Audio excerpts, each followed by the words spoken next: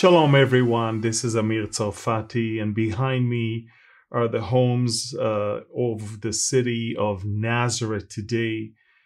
Uh, you can see uh, quite a city, quite a packed place. And this is where it all began. And I know that uh, quite a few of you are probably asking yourself, why would Amir go all the way to Nazareth to talk about Christmas and the birth of Christ? Well, first of all, let's remember that it is in Nazareth where most of Jesus' life took place. We must remember that, okay? But we also need to remember that there's a lot that did happen here. And this is exactly why this message is all about. Why Nazareth? Why then? What was the game changing message and why was it necessary? So let's pray and dive into this very important message. Father, we thank you so much for giving us your only begotten Son, that he whosoever believes in him will not perish, but will have eternal life. And Father, we ask that right now, as we look into your word and understand your heart, we will also uh, understand the magnitude of that event that took place nearly 2,000 years ago here in this area. We thank you and we bless you in Jesus' name. Amen. Amen. Again, shalom, everyone. You're probably wondering how come it's Nazareth behind me and it's not Bethlehem. Of course, it is in Bethlehem where Jesus, Yeshua, was born. So how come it's Nazareth behind me? It is Bethlehem because even the prophet Micah, more than 700 years before the birth of Christ, wrote in chapter 5, verse 2 But you, Bethlehem Ephratah, though you are a little among the thousands of Judah, yet out of you, out of you, Bethlehem, yes, shall come forth to me the one to be ruler in Israel, whose going forth are from of old, from everlasting. It's not a regular person. It's not someone who just got got you know born and and and and that's it. And he has a lifespan of a regular person. It's someone that existed already before the foundations of this world and he will always exist from everlasting to everlasting. And it's interesting because the Jewish people knew about that prophecy. Again, for hundreds of years prior to the birth of Jesus in Bethlehem, it was a common knowledge that the Messiah has to come from that place. In Matthew chapter 2, verse uh, 1 to 6, it says, Now after Jesus was born in Bethlehem in Judea, in the days of Herod the king, behold, wise men from the east came to Jerusalem, saying, Where is he who has been born king of the Jews? For we have seen his star in the east and have come to worship him. And when Herod the king heard this, he was troubled, and all Jerusalem with him. And when he had gathered all the chief priests and scribes of the people together, he inquired of them where the Christ, the Messiah, was to be born. So they said to him, In Bethlehem of Judea, for thus it is written by the prophet, But you, Bethlehem, in the land of Judah, are not the least among the rulers of Judah, for out of you shall come a ruler who will shepherd my people Israel. So, as you know, it was advised to Herod that the Messiah is born in Bethlehem as prophecy must be fulfilled. But it's not the only time. Later on in John chapter 7, when Jesus, known as Jesus of Nazareth, was in the crowd, The Bible says in chapter, in chapter 7, verse 40 to 44, therefore many from the crowd, when they heard this saying, truly, this is the prophet. Others said, this is the Messiah, the Christ. But some said, will the Christ come out of Galilee? Has not the scripture said that the Christ comes from the seed of David and from the town of Bethlehem where David was? So there was a division among the people because of him. Now, some of them wanted to take him, but no one laid hands on him. So you see, 2,000 years ago, everybody knew there is a prophecy. It has to be fulfilled Messiah has to be born in Bethlehem. And, and it's interesting, yet here I am in Nazareth. I am in Nazareth, and you may ask why Nazareth, which, by the way, today is known as the Arab capital of Israel. Believe it or not, Nazareth of today has nearly 80,000 people. 70 percent of them are Muslims and nearly 30% are Christian Arabs.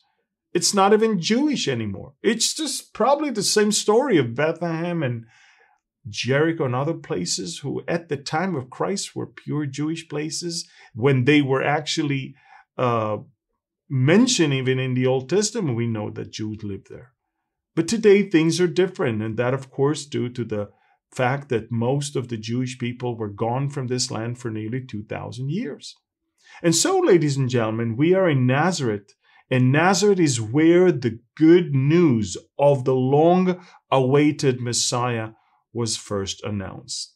It's important that we go back to the story of Luke chapter 1 and, and we see that, yes, maybe physically Jesus was indeed born in Bethlehem, but the news about his birth but the news about his coming, but the good news about that amazing game changing event were actually given in Nazareth.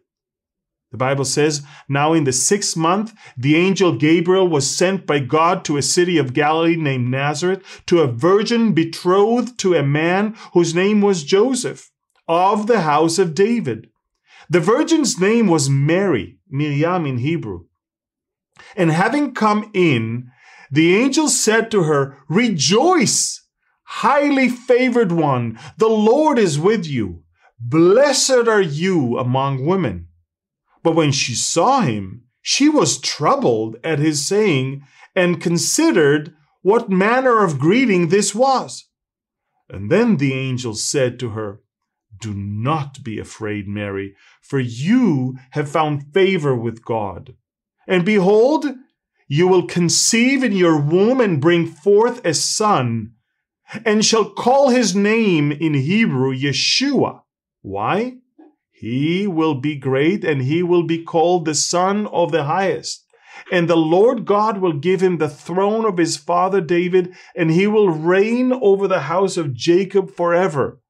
And of his kingdom there will be no end. Exactly as the prophet Micah over 700 years earlier said. And his origin is from everlasting. Amazing.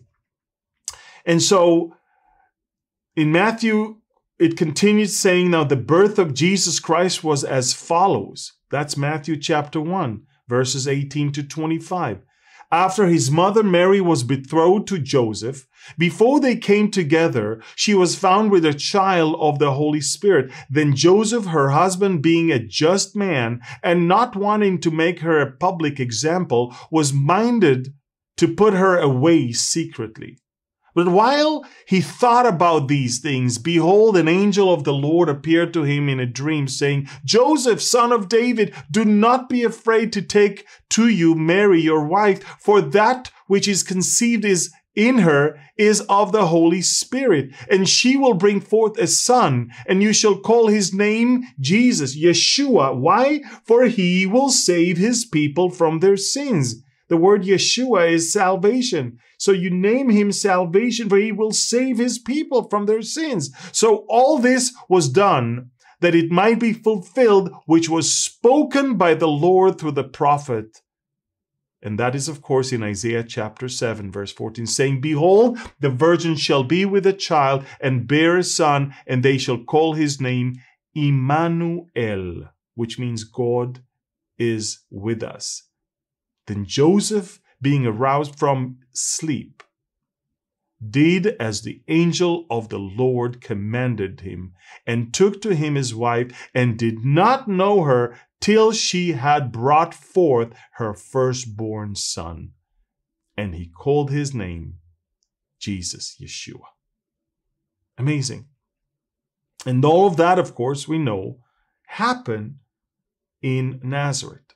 While they lived in Nazareth, while they dwelled there, while probably Joseph as a as a carpenter worked in the new newly built city nearby called Sepphoris. So it's it's it's an amazing thing. Just as the prophet said, Isaiah 7:14, therefore the Lord himself will give you a sign, behold the virgin shall conceive and bear a son and shall call his name Immanuel. Amazing. That's not the only thing that Isaiah wrote. Isaiah in chapter 11, verses 1 and 2 said the following thing, and that may help you understand why, of all places, all over the country, especially in Galilee, it is in Nazareth that this good news had to be brought forth. The Bible says, There shall come forth a rod from the stem of Jesse and a branch shall grow out of his roots. The Spirit of the Lord shall rest upon him. The Spirit of wisdom and understanding, the Spirit of counsel and might, the Spirit of, of knowledge and of the fear of the Lord. These are the seven spirits. And they all rest upon that rod from the stem of Jesse, that branch that shall grow out of his roots. Now, why is it so important? Because let me show you on the screen right now something very interesting. The Hebrew verse says the following. Let me read it now in Hebrew. Vayetze choter migeza ishai venetzer mishorashav. ונחה עליו רוח אדוני, רוח חוכמה ובינה, רוח עצה וגבורה, רוח דעת ויראת אדוני. The word Netzer is the root of Nazareth. Nazareth. Take a look on the screen and see that the three letters of Netzer are most of the name Nazareth. Even in, in, in English, you can see the NZR. That's the root of the name. From the place that is named after the branch came indeed the branch. And it doesn't even stop there. It says that out of his out of his root, that branch is going to come forth. But did you know that the word Yifre, and take a look at the screen again, Yifre in Hebrew means come to fruition.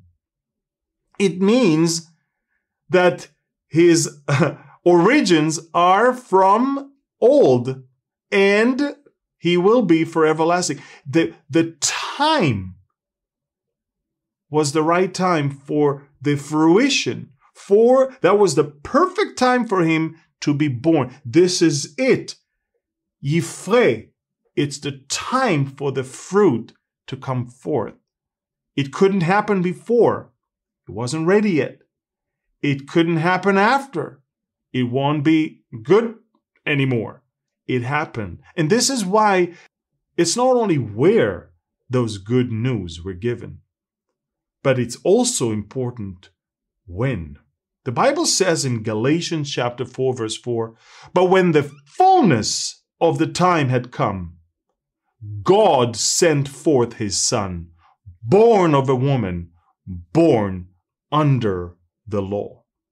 When the fullness of the time had come, that means there was an exact moment, exact time exact place, exact manner. He could have not been born Muslim. He could have not been born um, Hindu. He could have not been born in any other ancient Egyptian religion or whatever it is. He could have not been born anywhere else. He could have not been born to any other person rather than to that person who was the woman who was virgin. And he was born under the law. He was born a Jew under the law at the fullness of the time. That's why the word from Isaiah chapter 11 coming to fruition in Yifre, Netzer Mishorashav Yifre, a branch will, will, will come out of his, out of his roots. Now, the, the, the Hebrew is not just a branch. It's a netzer. It's, it's something that comes and it, it, it comes to fruition.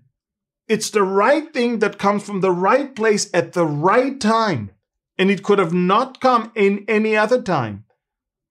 In Luke chapter 1, verses 26 to 33, now in the sixth month, the angel Gabriel was sent by God to a city of Galilee named Nazareth. Six months. There was a time he had to come. Look, so many people are arguing about the exact date of the birth of Christ, whether it's the 24th or the 25th. Maybe it's not December, maybe it's September, maybe it's Hanukkah, maybe it's Rosh Hashanah, maybe it's this, maybe it's that. You know, if it was so important, God would have told us exactly the day. I guess it's not about the day, it's about the timing. It's about the exact time God had it all planned. And it's interesting, the only thing we do know about the good news, about the news of the coming of the Messiah to this world, is that it was on the sixth month that the angel Gabriel was sent by God. Isn't that interesting? In the Hebrew calendar, the sixth month is the month of Elul, and it falls on our calendar around August. And it's six in preparation, it's the preparation day for the Sabbath rest. Isn't that interesting? A day of man, six, and the double blessing of manna also. Now, Nisan, the month of Passover, by the way, which is known as the first one, is the first month, and Elul is the sixth month of preparation. For what? For the high holy days in the seventh month of Tishrei. So this sixth month is what? It's placed between the two great sins past and the coming judgment future. the sixth month, Elul, follows the golden calf incident, uh, this idolatry in the fourth month of Tammuz, we know, and the 12 spies evil report in the fifth month of Av, which was a faithless unbelief, and then the future trumpets and atonement that follow in the seventh month of Tishrei when judgment comes. It's so symbolically amazing that it is the sixth month. There were the sins, there was the atonement and the trumpet, and of course, he had to come to atone, to, to pay the price for us to be able to, to, to, to have that trumpets and atonement fulfilled. Look, the coming of the Messiah to the world is not just the good news for Israel. It's not just the good news for the people of the tribe of Judah. It's not just the good news for the Galileans. It's not just the good news of, of the people of Nazareth. If anything, the people of Nazareth were very indifferent. They, they, they were not exactly the biggest fans of Jesus, and we'll look into that in a few minutes. But I want you to know that an Orthodox Jew named Shaul, Paul, he, he, he could see that this is a game changing message, not just for Israel, but for the whole world. By the way, he wasn't the first one to say that. John, when he saw Jesus, he didn't say, Behold, the Lamb of God that takes away the sins of Israel. John could see this is far greater and beyond what I've ever seen. Behold, the Lamb of God that takes away the sins of the world. So when Paul was in the uh, uh, uh, heart of the most pagan city of the world of those days, a city that is leaning on the wisdom of men, philosophy, poetry, a city that has so many altars to so many gods, over a thousand of them. Paul stood in the heart of Athens and said, Therefore, since we are the offspring of God, we ought not to think that the divine nature is like gold or silver or stone, something shaped by the art and man's devising. Truly, these times of ignorance God overlooked.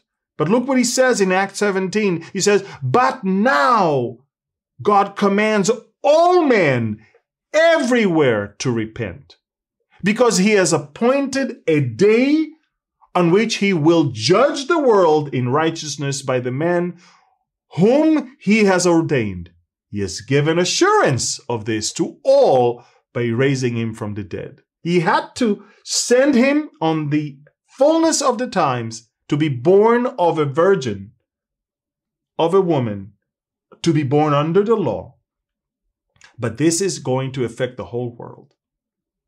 And all the times of ignorance God overlooked, those times are over. The times of religious uh, uh, debating, the, the times of I said this, he said that, the times of there are so many different gods, which is the way, which is that those times are over. The times of man seeking his way to heaven, this time is over. The time of man thinking that you know, by his great intelligence, by his great uh, uh, uh, wisdom, by his great uh, character, he can actually make any, any difference. Those times are over. These are actually times of ignorance. And God overlooked that, but he says, but now that same God the same God that we ought not to think that the divine nature is like gold and silver or stone, something shaped by art and man's devising. This same God now commands all man everywhere to repent. So I'm not sure where you are, but the fact that you're not in Israel, that you're not a Jew, means nothing. You, you, you don't have to worry. that the, the birth of the Messiah may have happened here. The, the good news may have been given in this city behind me, but it is a message to you wherever you are. He has appointed a day. There's an appointed day for his birth. There's also an appointed day for the judgment of the world in righteousness. And all of that, God has ordained. So, what is that amazing thing that happened? We talked about where and we talked about when, but let's talk about the what. What happened? Well, God came into the world. For hundreds of years, there was some silence in the scriptures. For hundreds of years, we see nothing happening. And you, some would think that, oh, well, you know, God is there. We're here. He doesn't interfere in our business and we, we don't need to in his. Well, God physically came into the world. This is exactly why, therefore, the Lord himself will give you a sign. Behold, the virgin shall conceive and bear a son, and you shall call his name Immanuel. Immanu, with us, El, God. God is with us. It's no longer priests, Levites, sacrifices, goats, cows, bulls, rams. God Himself, born of a virgin in a shape of a son, is now coming to us. After all those hundreds of years of people trying to come to Him, He is coming to us. John 1 14 says, And the Word became flesh and dwelt among us. And we beheld his glory, the glory as of the only begotten of the Father, full of grace and truth. Romans 8, chapter 3 says, For what the law could not do, in that it was weak through the flesh, God did by sending his own son in the likeness of sinful flesh on account of sin. He condemned sin in the flesh. Philippians chapter 2, verses 5 to 8. Let this mind be in you, which was also in Christ Jesus, who being in the form of God, did not consider it robbery, but be equal with God to be equal with God, but he made himself of no reputation, taking the form of a bondservant and coming in the likeness of men and being found in appearance as a man, he humbled himself and became obedient to the point of death, even the death of the cross. It's one thing to die in a car accident. It's another thing to die while you're asleep. But to die on the cross, that was the most gruesome death anyone could go through in those days. 1 Timothy 1:15 says, "This is a faithful saying and worthy of all acceptance that Christ Jesus came into the world to save sinners." Into the world to save sinners. The affairs of men are his business.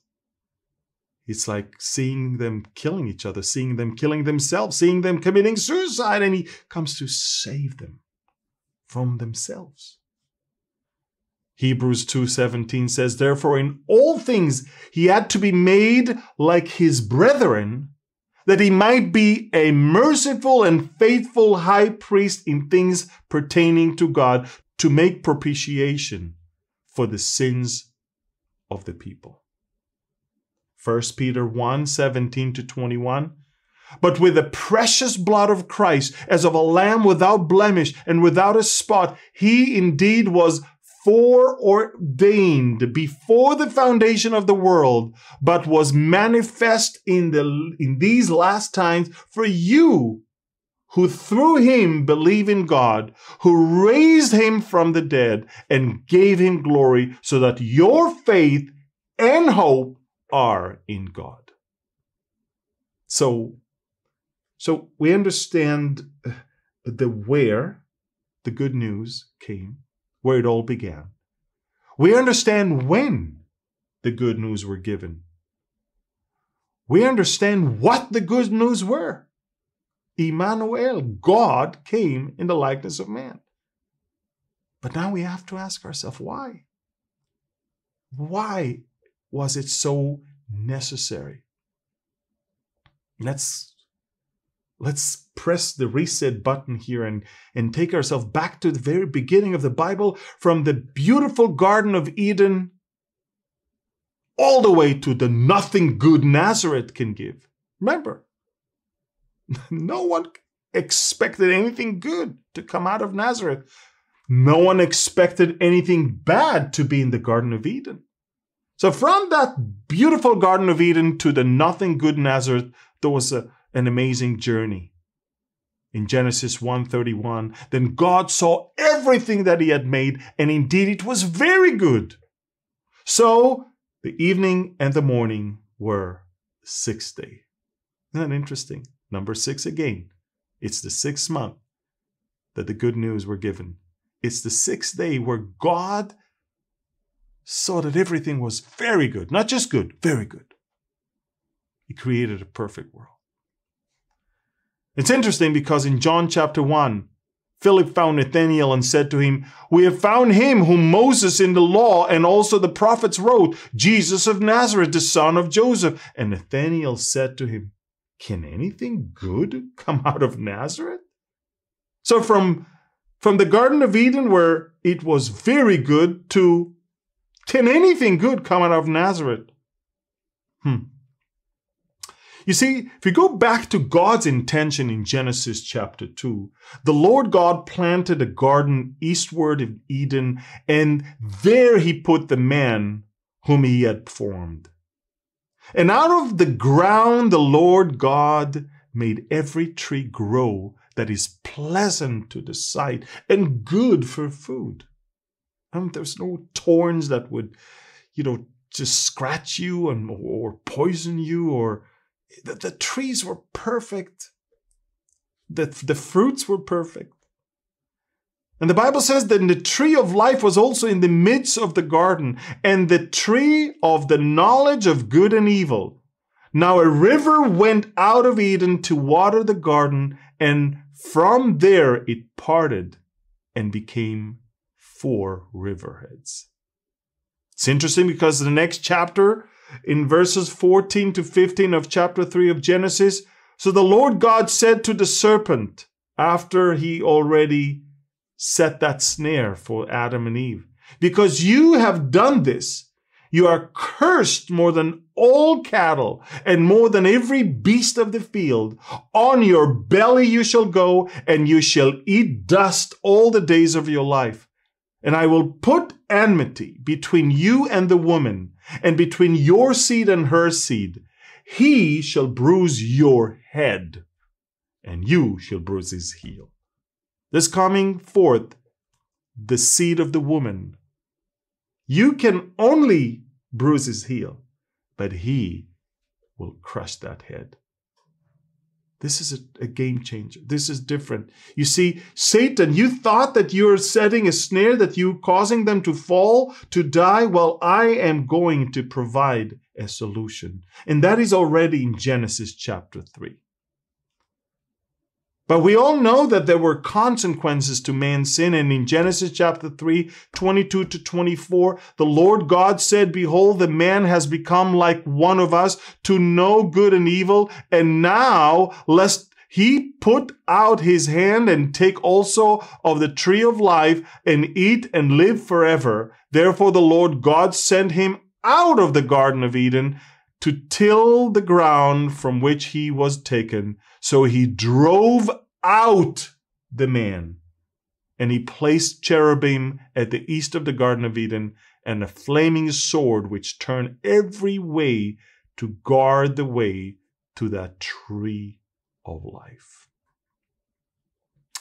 And, and if we think that things got better, oh no. In Genesis chapter 6, it's just gotten worse and worse. And now it came to pass when men began to multiply on the face of the earth, and the daughters were born to them, that the sons of God, like angels, saw the daughters of men, and that they were beautiful, and they took wives for themselves of all whom they chose. And the Lord said, My spirit shall not strive with man forever, for he is indeed flesh, yet his days shall be one hundred and twenty years. There were giants on the earth in those days and also afterward when the sons of God came in the daughters of men and they bore children to them. Those were the mighty men who were of old men of renown. And the Bible says, then the Lord, look what happened. Not only that there was an attempt to destroy mankind, human race by the intervention from heaven by those rebellious angels, but the Bible says, then the Lord saw that the wickedness of man was great in the earth, and that every intent of the thoughts of his heart, not just some, every intent of the thoughts of his heart was what? Not sometimes evil, only evil. And, and not just today, continually. Think about it. All that man did in the sixth chapter of the first book of the Bible, look how fast sin took over. And now it's just evil in their hearts. Every thought was evil continually. And now comes the most probably saddest verse in the whole Bible. The Lord was sorry that he had made man on the earth. And he was grieved in his heart. So the Lord said, I will destroy man whom I have created from the face of the earth, both man and beast, creeping things and birds of the air, for I am sorry that I have made them. And thank God this chapter did not end right there. And then comes, but Noah found grace in the eyes of the Lord. Thank you, Lord, that you're looking not to punish, but you're looking to bless, that you're not looking for all the evil ones, but you're just looking for, okay, give me one reason not to destroy.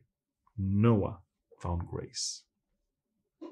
We know that the Tower of Babel in Genesis 11 tell, told us that uh, even the flood did not change anything when it comes to man's heart, which was desperately ill and evil. Now the whole earth has one language and one speech, and it came to pass as they journeyed from the east that they found a plain in the land of Shinar and they dwelt there. Then they said to one another, Come, let us make bricks and bake them thoroughly. And they had brick for stone and they had asphalt for mortar. And they said, Come, let us build ourselves a city and a tower whose top is in the heavens. Let us make a name for ourselves, lest we be scattered abroad over the face of the whole earth. Wow. Isn't that interesting? Let us make a name to, over, to ourselves. But the Lord came down to see the city and the tower which the sons of men had built. And the Lord said, Indeed, the people are one, and they all have one language, and this is what they begin to do. Instead of worshiping together, instead of coming to the Lord together, instead of giving Him the honor and the glory for even sustaining their life, look what they do. Now, nothing that they purpose to do will be withheld from them. Come, let us go down, and there confuse their language, that they may not understand one another's speech. So the Lord scattered them abroad from there over the face of all the earth, and they ceased building the city. Isn't that interesting? The whole effort of globalization today is to, hey, we're, we're different, but let's come together and once again, as one force, make a name to ourselves. That's what globalism is all about. And therefore, its name is called Babel in Hebrew, Bavel, from confusion. For the Lord confused the language of all the earth, and from there the Lord scattered them abroad over the face of all the earth. So he started with Adam and Eve when he created them on the sixth day, and he saw that everything was great. Then comes the fall of man, and then comes the spread of sin, and then comes the flood, but Still, man's heart is evil. And then comes the attempt of men to reach to God, which is, by the way, what they're trying to do today in so many different shapes and forms. And God scattered them all, all over the face of the earth. Now, make no mistake, the fact that God scattered them all doesn't mean God is not a personal God. God is not active in, in, in, in, the individual's life. It's the opposite. Psalm 33 says, The Lord looks from heaven to see all the sons of men. From the place of his dwelling, he looks on all the inhabitants of the earth. God can see every person. That's why, in the midst of so much evil, he saw Noah. But Noah amazing, isn't it? Look, you know, I just lost my father, and, uh, you know, I was introduced to so much of the Orthodox Jewish uh, mindset. They literally believe that an unsaved person like my father, who never accepted Jesus as his Lord and Savior, he's actually going to heaven. They, they believe that every prayer, every specific prayer that a an orphan can make uh, called Kaddish is adding another stone to his to his crown. They believe that he's a righteous person right now because of our prayers. They believe that within it's within our, our, our strength and our efforts to light candle and say prayers and, and do good deeds to elevate his soul higher. But in reality, the Bible, the Word of God says in Psalm 53 God looks down from heaven upon the children of men to see if there are any who understand, who seek God. Every one of them has turned aside. They have together become corrupt. There is no, there is none who does good. No, not And after the flood, we know that in Genesis 10 11, from Noah came Shem, and from Shem, Terach, and from Terach, Abraham. And in Genesis 12, God is going to do something great. He's going to start all over again. But this time, it's not all the people all over the world. God is going to work through a person who will become a father of a specific nation. And he told Abraham, Get out of your country, from your family, from your father's house, and to a land that I will show you. I will make you a great nation. I will bless you and make your name great and you shall be a blessing. I will bless those who bless you and I will curse him who curses you. And look what he says. And in you, all the families of the earth shall be blessed. In other words, I'll make you a, a, a nation that will, you see, he says, I will make you a great nation. And through that nation, all the families of the earth shall be blessed. In other words, God is going to work through a nation to bless the rest of the nations. And therefore, from Abraham, although Ishmael was firstborn, it was Isaac that God will establish his covenant with. And then from there, it wasn't Esau, it was Jacob who then had the name Israel. Ladies and gentlemen, in Genesis 32 28, and he said, Your name shall no longer be called Jacob, but Israel, for you have struggled with God and with men and have prevailed.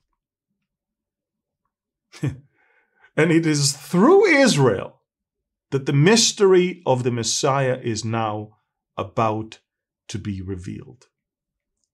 See, Paul referred to the mystery of Christ in Ephesians chapter 3, verses 4 and 5, that has now been revealed by the Spirit to his holy apostles and prophets. The first thing to note is that it was never a mystery to God, since he knows all things. And that's why it says in 1 John 3:20, he knows all. The Lord planned Christ's redemptive work before the foundations of the world. That's what Ephesians 1 4 says. And he has now made known to us the mystery of his will according to his good pleasure in Ephesians 1 9. But what changed from the Old Testament to the New Testament, and, and, and what is it? And why is it that there is a mystery in the first place? One of the key things that changed was that God's plan of salvation through, through Jesus was fulfilled. And there were hints of that plan in Genesis 3:15. We read about it. Now it's interesting because Isaiah 7 says, Therefore the Lord himself will give you a sign. Behold, the virgin shall conceive and bear a son, and shall you shall call him Emmanuel. And Isaiah goes on in chapter 9 and says, For unto us a child is born, unto us a son is given. Again, it's not that, look, unlike Adam that was created already an adult, here, Messiah had to be born as a child. That's what the prophet says. He had to be born. So, unto us a child is born, unto us a son is given. It's a male. And the government will be upon his shoulder, and his name will be called what? It's a person, yet his name is Wonderful Counselor, Mighty God, El Gibor, Everlasting Father, Aviad, Prince of Peace, Sar Shalom. Of the increase of his government and peace, there will be no end. He's everlasting. Upon the throne of David and over his kingdom, to order it and establish it with what? With judgment and justice from that time forward, even what? Forever. The zeal of the Lord of hosts will perform this. So we started with the Garden of Eden. We moved on all the way to how man wanted to replace God. We see that man was so bad, and we see that there was a flood, but Noah, thankfully, was there.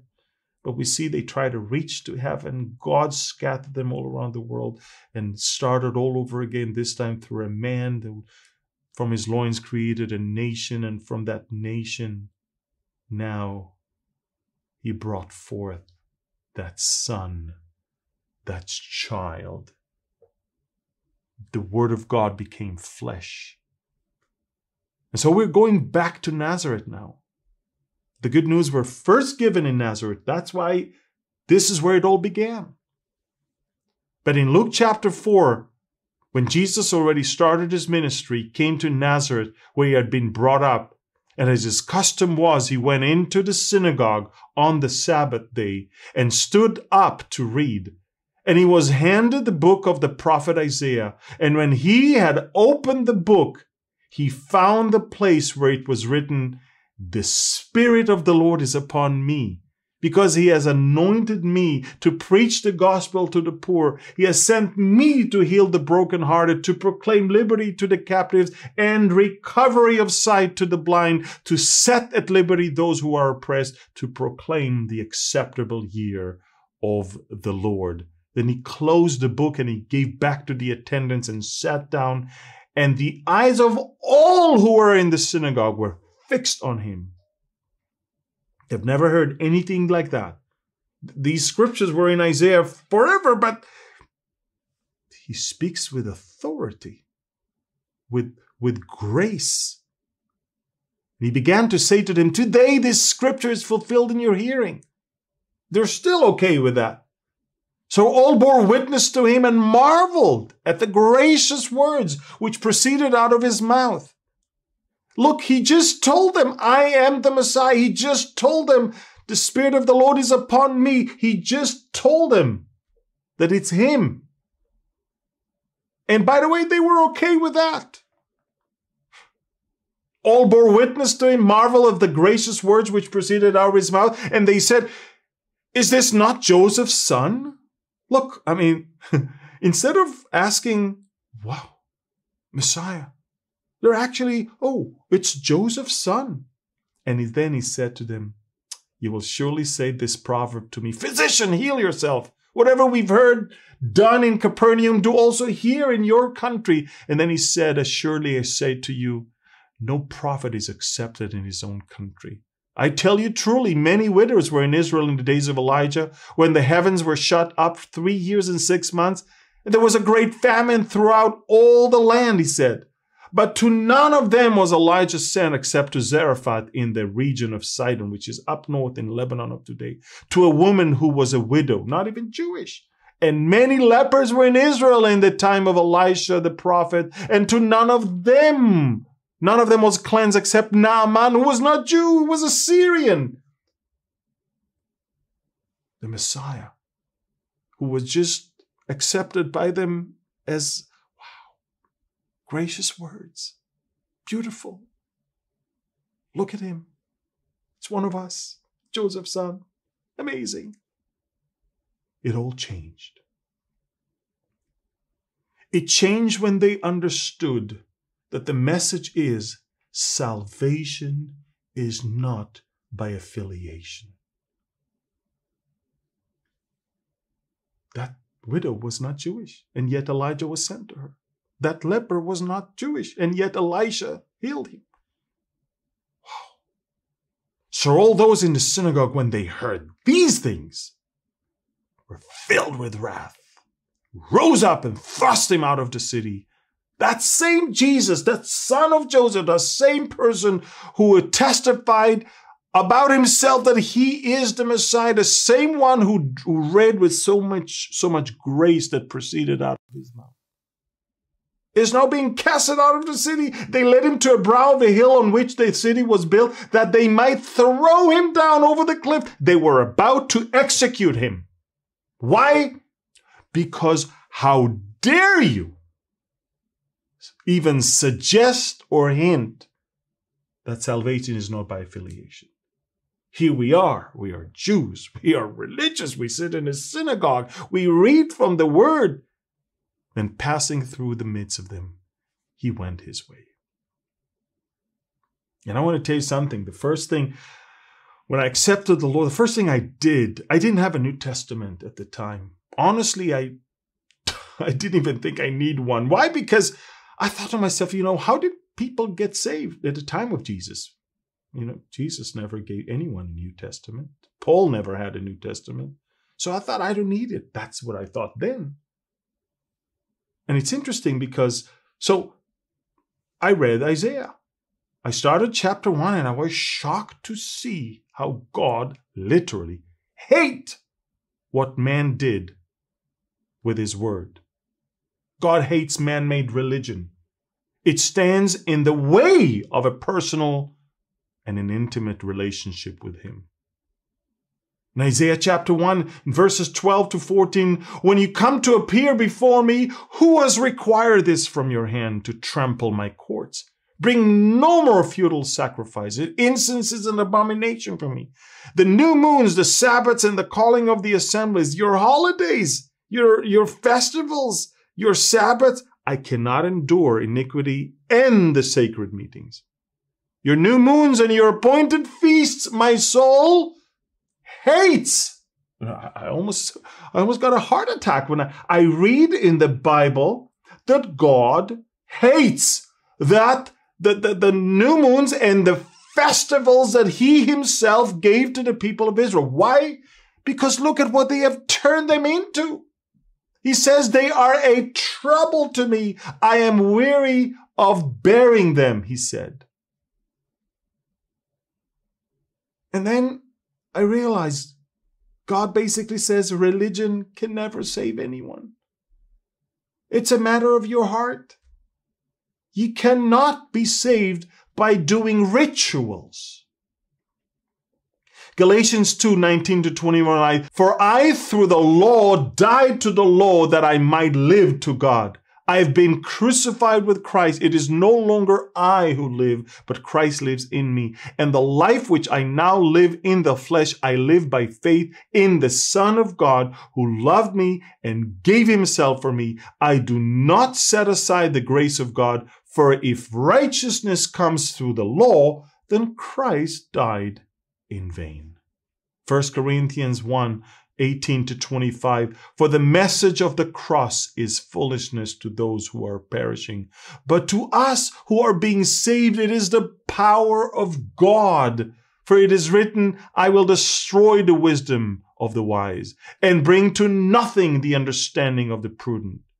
Where is the wise? Where is the scribe? Where is the disputer of this age? Has not God made foolish the wisdom of the, this world? For since in the wisdom of God, the world through wisdom did not know God, it pleased God through the foolishness of the message preached to save those who believe.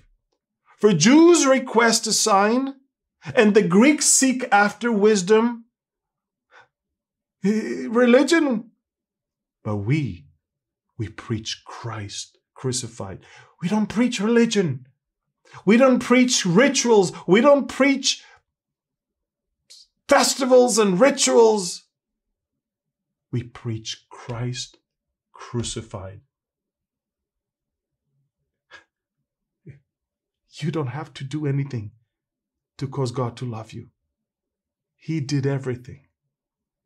God sent his son to be to, to, to die for us. This is the message.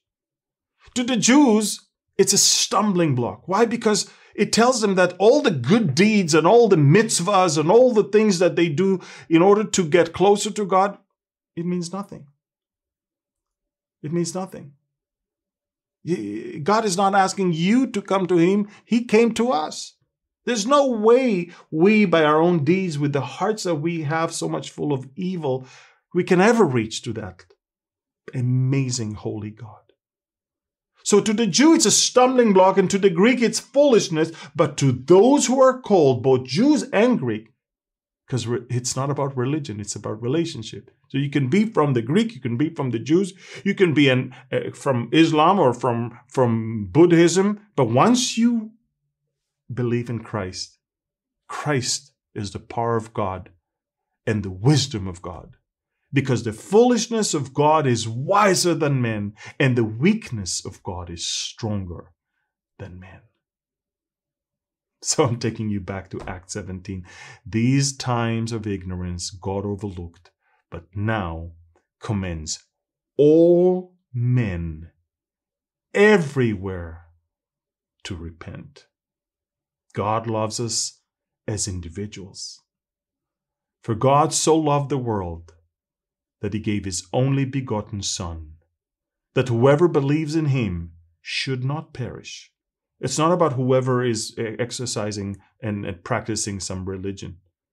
Whoever believes in him should not perish. Believe in the Son. Believe in the begotten Son.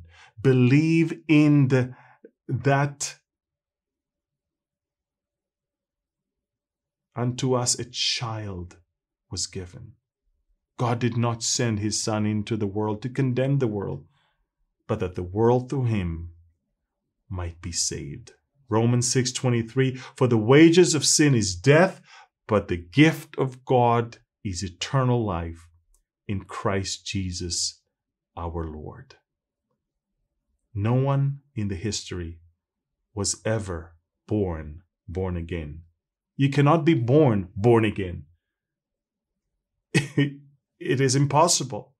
If your birth is enough, why do you need to be born again?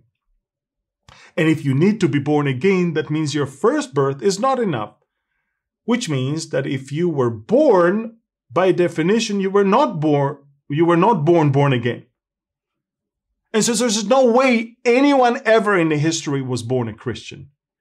Because in order to be born a Christian, it's the fruit of the second birth. And that's why in John 3, verses 1 to 3, it says, There was a man of the Pharisees named Nicodemus, and the ruler of the Jews, and this man came to Jesus by night and said to him, Rabbi, we know that you are a teacher come from God, for no one can do these, these signs that you do unless God is with him. God is with him. And Jesus answered and said to him, Most assuredly I say to you, unless one is born again, he cannot see the kingdom of God. Amazing. He's coming to a religious Jew, a Pharisee, a ruler of the Jews, and he's telling him, This religion cannot save you. You were born a sinner. You need to be born again in order to see the kingdom of God. The second birth is a pass not only to get salvation, but it's a, it's a pass from the second death. Because the Bible says in Revelation 20, Blessed and holy is he who has part in the first resurrection. when we are going to be resurrected to be with Christ, over such the second death has no power but they shall be priests of God and of Christ and shall reign with him a thousand years. You want to reign with Jesus for the millennial kingdom. You want to be with him. You want to, you have to be born again. And that birth again makes you a Christian, and then you will be resurrected at the time of the rapture. And you then will be able to be with him and reign with him for those thousand years. 2 Corinthians 6 1 and 2. We then, as workers together with him, also plead with you not to receive the grace of God in vain. For he says, In an acceptable time I have heard you, and in the day of salvation I have helped you. And I want to conclude this with Behold, now is the accepted time. Behold, now is the day of salvation. Father, I thank you for your word. I thank you for your promises. I thank you for where it all began. It was the fullness of the times. It was the perfect time. It was the time of fruition. It was your plan. It was your heart. It was your son. It was your love. We thank you for the birth of the Messiah. And we ask that everyone will understand that today is the day of salvation. Tomorrow might be too late. We thank you and we bless you. In the name of Yeshua, who is our salvation, we pray. And all of God's people say, Amen. Amen and amen. Thank you, and God bless you.